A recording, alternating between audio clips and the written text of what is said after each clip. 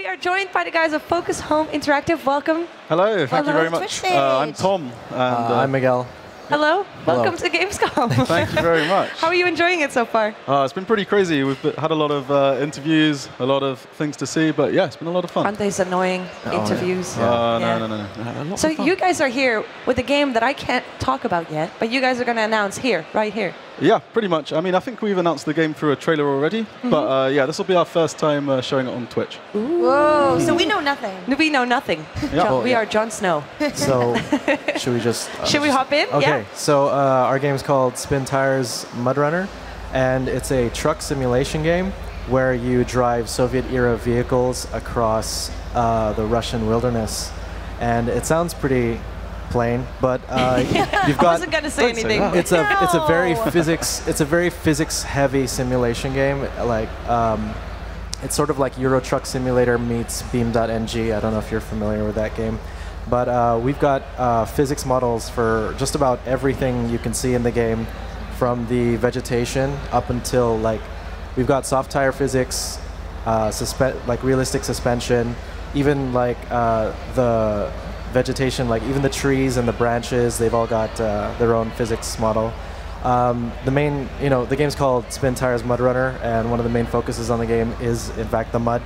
And uh, as you see, when we drive across our uh, with our truck, you can see the mud uh, splitting up, and even getting caught in the uh, the ribs of the tires and things like that, Whoa. which will always, which will eventually keep affecting the way you drive and things like that. It must be so hard to code as yeah, a coder. Uh, the the team's a, it's a custom built engine actually. The team worked on it uh, themselves. It's not running on Unreal or anything like that. It's uh, it's their own house engine, and uh, they built it from the ground up. I think it was a Kickstarter at first, and then Yeah, yeah. Started as a Kickstarter. Um, so the original game was actually called uh, Spin, Spintires. Yeah, Spintires. Uh, so this is Tires, sort of the follow-up from that uh, with uh, upgraded engine um, and a lot more in-depth stuff.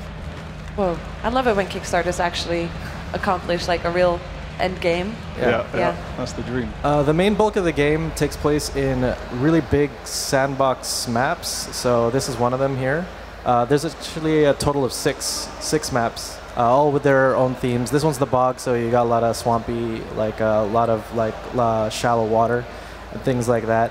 Uh, this uh, there's also another map called Demerge, and it's just a whole flooded section, and it's just water everywhere, and it's an absolute nightmare to traverse. But that that's the that's the, The real yeah yeah it's the it, Yeah. the struggle is what we we want to is what the players want to feel like they want to try to achieve something try to push the limits of their soviet era vehicles across mm-hmm. these like really harsh uh, wilderness conditions You're going to be in environments where most games they wouldn't even let you drive in them because it just seems impossible. yeah So I noticed that some of the trucks are locked. Um, how does actually one open more trucks? okay so the, there are two ways to unlock stuff the first way is of course to just visit the trucks and go find them out in the world sometimes they're like trapped in a river or something like that and you have to use winches and cranes and things to pull them out and uh, you can also go to uh, another way to unlock stuff is to visit the log stations like there's one up here which is really really far away. And uh, the, you deliver the logs over to the lumber mill and of course logs they move about and they're like really tough to traverse especially if you're like driving around a really tight narrow muddy path. It's like really uh, difficult to send it through. So it's up to players to uh, think of their own route. Like they can go through off-road if they want or they can try traveling the road as well. Uh, you can change what's on your truck i'll just drive over to the uh, I'll drive over back to the garage.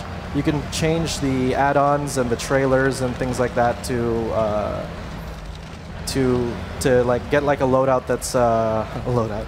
Uh, you get like uh, equipment selection that's like useful for your current situation. So like in this in this map, it seems like the log station's really really far away, so you might need fuel. But there is a fuel station. So if I wanted to go around the long way to take like a safe route, I might need to drop off at the fuel station, or I can just go off road and carry like a fuel cistern at the back of my truck here, and then just uh, get the fuel from there. That makes you heavier. Yeah, uh, things in like the that. mud. The entire game is uh, the entire sandbox maps. They're all playable in four-player co-op, which is a really um, if in, in case you wanted to do more complicated deliveries, or you wanted to reach like mountains far away, uh, it, it'd be better to travel as a group Um, one of the new uh, additions to this, because this is the next iteration of Spintires, one of the new additions to the game is the challenge mode, where we give you like a vehicle, a specific vehicle in a specific part of the map, and then we just expect you to, to handle this specific objective. Uh, you can make it more difficult with a bunch of uh, challenge. Uh, there are some challenges that make uh, make the journey more difficult.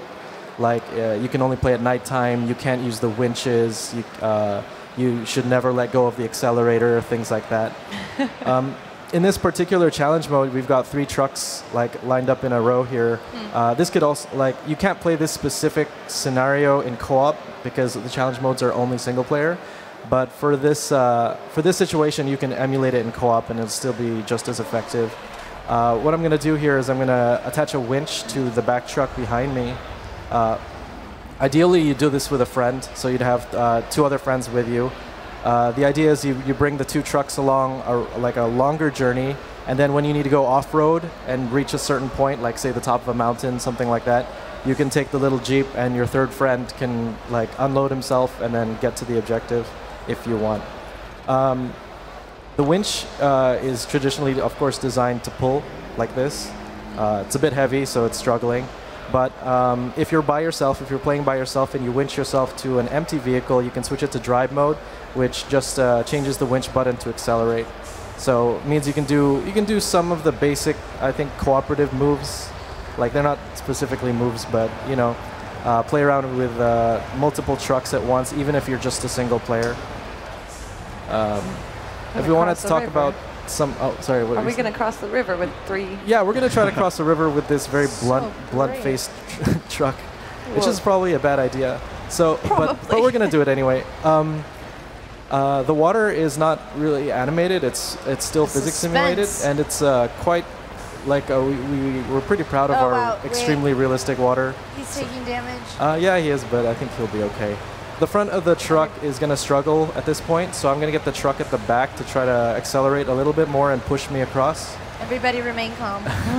You'll notice as well that the, Hold on to your butts. Uh, clinch, clinch, clinch, clinch, clinch. You'll notice as well driving through the water uh, actually cleans your tires of the mud that you might have accumulated. So Oh. this is a pretty extreme way to uh, clean your vehicle. So I wouldn't advise going through this kind of water. But if you come across say a st- small stream and you've been having difficulties with it all uh, clogging up your tires, then uh, it can be a pretty good way of dealing with it. Can the the, other physics, vehicles, though. can the other vehicles um, get, you know, damaged if in fact they're staying too long in the water? Oh yeah, Yeah. for sure. Um, so you kind of have to keep moving along. You can't just like idle there. Yeah, yeah, and you definitely, if you are, if you ever find yourself idling, you should be definitely holding down on that accelerator because if you get your engines flooded, you're, you're not gonna have a nice time. Yeah, you need to make sure the water line doesn't go above the exhaust, uh, just like real life. You Just can, okay, so you guys are making as realistic as possible to Yeah. like any vehicle. I mean, even the fuel at the back of this truck is simulated, as you can see it, Yep. and, uh, just topping over there. Uh, it's uh, the amount of detail that the team like uh, worked on is uh, pretty amazing. I'm gonna switch over to another challenge just to uh, put things uh, just to conclude. But uh, we've got, uh, like as I said, we have Soviet era vehicles, so it, it ranges from all sorts of kinds of like uh, Russian Russian vehicles. Uh, the game has uh, for PC users because the game's going to be out on Xbox One and PS4 as well. For PC users, they get access to all the mod tools, so you can uh, create and import your own vehicles. You can put your own maps in. Uh, the community's been working on like American wilderness and like American trucks like Ford Explorer and things like that. But uh, like the from with our game, it's just uh, we, we work on the Russian vehicles, the old Russian vehicles, and uh, definitely the old Russian environments and things like that. This is an example of one of our amazing. This. I I think it's so cool that the community community can get involved Yeah, in making this game look really cool. Yeah, they've been a huge part of this game. Is Um, this an Uh, amphibious type it's vehicle? not- it's not an amphibious vehicle, but it's definitely good at traversing uh, traversing the water and things like that. It's because there's so just so many wheels, and uh, it's got differential lock on, which means that the uh, the wheels on each axle they spin at the right uh, the same rate. It kind of you kind of lose a lot of traction, but uh, you uh, you got a lot of. Uh, I mean, you lose a lot of control, but you gain a lot of traction with something like that. It's like a tank. Yeah, yeah, it's essentially like that. Uh oh, Uh, that looks deep. Sink or swim. Yeah. Um, Can we show what happens when it sinks? oh yeah, Yeah. sure. Let's do that. Also, how many game modes are you guys wanting, or Oh. can we share today? So right now, uh, uh, well, I mean, on release, which is uh, on October this year, when we uh, when we release the game, there'll be uh, a tutorial mode, which wasn't in the original game because uh, it was really a technical game. I mean, we have also a really elaborate gear shifting system, which I didn't I didn't really go into yet, but. Um, We've got a tutorial mode which covers every aspect of the game, including like working the cranes, uh, using the winches properly, and things like that, and driving the more like uh, driving every type of vehicle. Then we've got uh, the sandbox mode with the six maps, uh, those large maps, completely playable in co-op. Then we have the challenge mode, which is uh, it, it's the like set missions where we give you a vehicle, we give you a map, and then you have to try to do it as best you can with like a bunch of bonus objectives like do it at nighttime or like uh, complete the mission without the use of winches and things like that. Right. Are we still driving? Oh, oh, I mean, I was Yeah. I stopped because I needed to. You thought you I were done. Concentrate. Well, I mean, yeah, I'm trying. so, yeah. Um, overall, I think uh, the game's it's like it's pretty niche, uh, but the community is really, really strong, and we're really, really pr- uh, happy to say that like a lot of the a lot of the fan like requests are being looked into. Um, namely, people with uh, wheels, wheel controllers, they have a little bit of trouble with the camera because it's a bit of a unique camera system.